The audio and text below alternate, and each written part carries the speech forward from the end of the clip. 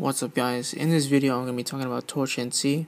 This tweak allows you to have a little shortcut for your flashlight for your iDevice. So as you can see here it has like a small section, if you tap it then it'll obviously turn on your flashlight. Now I'm using an on-screen recorder so you can't really see the flashlight working.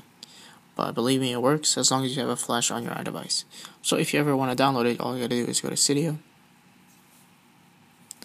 Wait for it to load like always.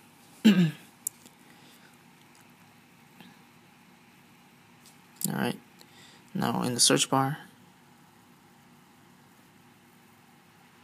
alright, let's ignore that. And the search bar, we're going to do is type in torch and C, all in one word. And then go ahead and install it. Now, once you're back in the home screen, go to settings. Now, instead of going all the way down to Torch NC, which is an option for it, you're going to go to the notifications then go all the way down until you see Torch NC. And then you're to turn it on from there. And that's how you do it. Once you have that on, you can pretty much scroll down the notification center and you'll have the option right there. And that's it. It's a pretty useful tweak compared to the other ones that I've reviewed.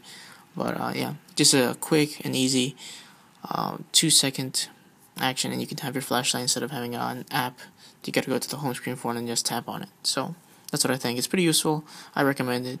And if you guys any have questions, please leave a comment. If you like this video, please click the like button. And if you want to see more videos like these, please subscribe. And thanks, guys, for the support.